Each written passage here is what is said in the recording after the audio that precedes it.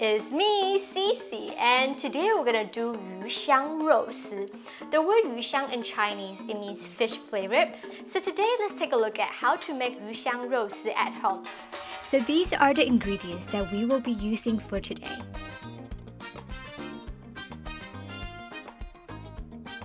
If you follow my Facebook or YouTube, you might already know that in the past two years, what I have been doing is I was in the kitchen and learning to cook traditional Chinese food with my shifu, Chef Luo.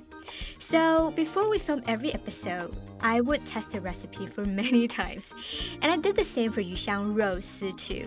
So here you can see the revolution of what I have done. Number one, two, three, four, five, and many more.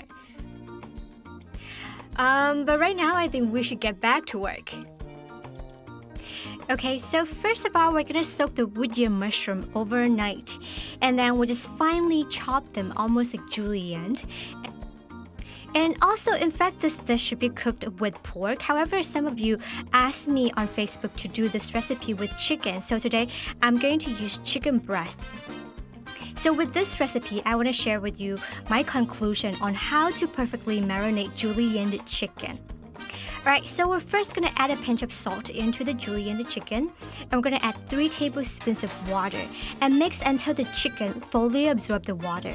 By doing this, the benefit is that the chicken will be more tender and it won't stick together while stir frying later. Then in a big bowl, we're gonna do the usual stuff by adding half of an egg white, a pinch of white pepper, a pinch of sugar, a tablespoon of cornstarch with one tablespoon of water, and also one tablespoon of oil. And we're just gonna mix. And then we're gonna add 8 ounces of julienne chicken breast. And then we're gonna stir until everything is combined, and we're gonna marinate this for 10 to 30 minutes. Alright, so while the chicken is marinating, we have some more free time. What are we gonna do? Okay, let's make the sauce. So in this bowl, we're gonna add half cup of chicken stock. If you don't have chicken stock, you can also replace it with water.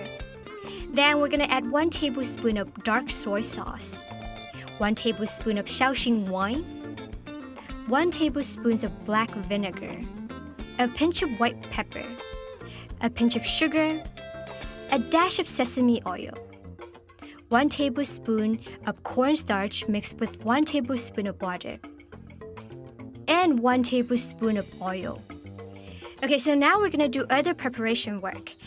In this beautiful pot, we're gonna boil water, and then we're gonna blanch 2 ounces of bamboo shoots and 2 ounces of wood mushrooms that we already julienne and you know like soaked it overnight for about 1 minute we're doing this because we want to remove all the gamey taste of the mushroom and also the bamboo shoots.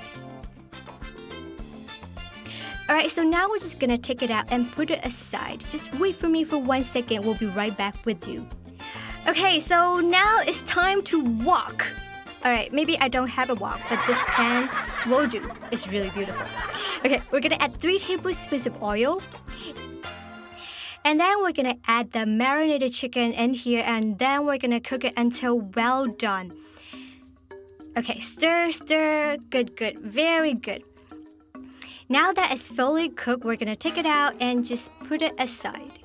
In this very beautiful pan, the same pan, right? We're gonna add three more tablespoons of oil and one tablespoon of spicy soybean paste, three cloves of minced garlic, half of a thumb of minced ginger, 2 stalks of chopped scallions, and 1 teaspoon of duojiao chilies. Although the duojiao chilies amount is really not much, but they said that duojiao chilies is actually the soul of yu xiang rou si. Okay, so now we're just gonna wait until the spicy aroma all comes out. Then we're gonna put back our blanched bamboo shoots and wood mushrooms. Okay, thank you very much for your patience. Now that you're in the pot, and we're gonna stir it a little bit, and then we're also gonna add back our julienne chicken. Again, thank you for your patience. Now we're gonna pour in the sauce and mix. Okay, that looks really nice and really delicious. Good. Let's stir a little bit more. Okay, I think this is good.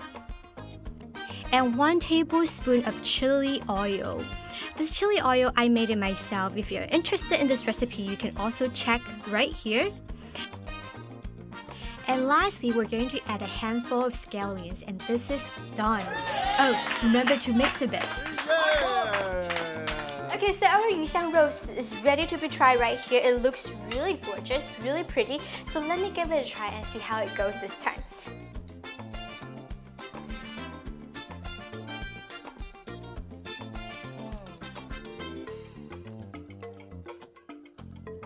Whoa, it's actually really, really spicy. Whoa, it's really spicy actually. So when I was younger, I lived in Southeast Asia. My family moved to Southeast Asia, although I'm Chinese. So the first time I tried Yu Xiang Rou Si, I was in China, right? And then I was like, oh my god, this dish is so delicious. Spicy, it's a little bit of sourness and also sweet. So from then on, whenever I go to a Sichuan restaurant, I always order Yu Xiang Rou Si. So this is um, something memorable for me and hopefully you guys can try this dish at home and also share my memory and my passion for Yuxiang Rose 丝。不要太，